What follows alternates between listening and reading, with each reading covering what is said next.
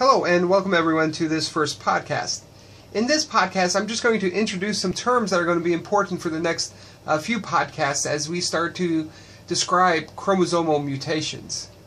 I'd like to take us back, though, just a little bit to kind of have a little perspective of where we've been and where we're going for the rest of the course. So, if you remember, we began this semester talking about nucleotides. We talked about how those strung together to form our DNA. And we talked about a lot of characteristics of DNA, but these included things like how it was replicated and how it could be turned into RNA. And then how this RNA could be turned into proteins. And it is this protein that gives us our traits. And we also talked about some exceptions where RNA was the actual end product of, of this pathway. But essentially, this process here allows an organism to look and behave a certain way. More recently, we talked about how this DNA is copied. To copy the DNA. And how that can lead to, or will lead to, new cells. And sometimes we want this cell to be identical, as is the case in, in mitosis, or we want it to have some degree of variation, as we see in meiosis. We've talked in general terms about these different pathways and what would happen if you mutated certain things or certain genes that encoded certain enzymes, but we really haven't talked about mutations yet and what they are and how they're caused. And, and so, for the most part, we've been really focusing on what is supposed to happen and how it's supposed to work. But now I'd like to focus on, for the next several podcasts, and, and certainly before our next exam, focus on mutations and how mutations affect this whole process. These mutations can take one of several forms. These mutations can occur in different ways. They can occur at the DNA level, and we'll talk about that in a different set of podcasts. We're, we're going to talk about in this podcast and the rest of our podcast is this next level, and that is, and these include our chromosomal mutations.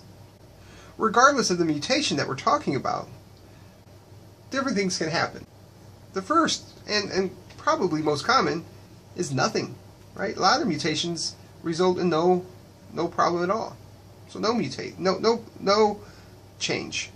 We've changed the DNA level or we've changed the chromosomal structure in some way, but in the end, no change. It can lead to a non functional protein or RNA. It can lead to a new function, these mutations. And if these new functions have some sort of selective advantage, meaning that a new functioning gene gives that organism some sort of mating advantage where they're able to pass their genes on more effectively, then this can help direct evolution. We're going to focus on the chromosomal leveled mutations now. And in the next several podcasts, this is what we'll cover. The, the chromosomal mutations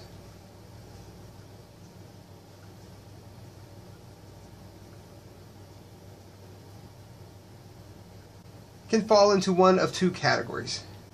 A change in chromosomal structure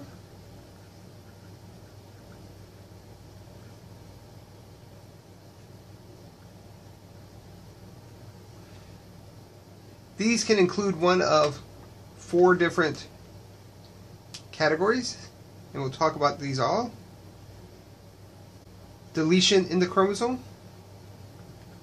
and duplication in the chromosome. The next podcast will focus on these two chromosomal changes.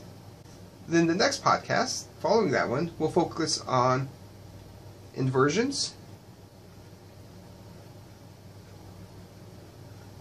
which really means taking a part of the, the DNA and flipping it around so it's in, in the reverse direction. And then translocations.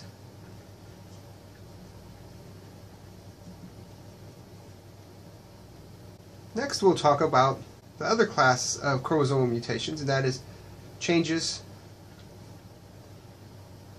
in the number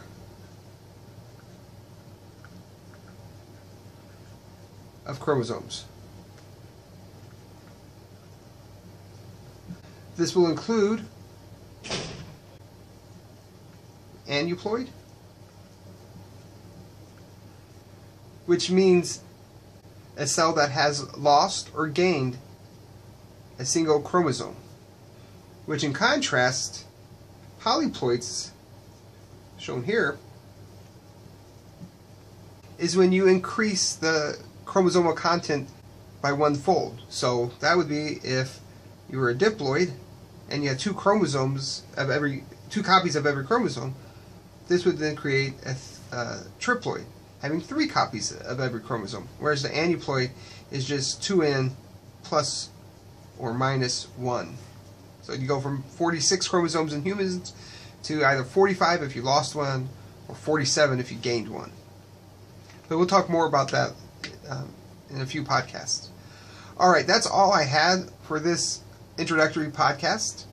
I'm not. There's not going to be a summary for this because it was a pretty short podcast. It was just to introduce you to what we're going to talk about next, and the next podcast will be on deletions and duplications. All right. If you have any questions, let me know. See you in class. Bye.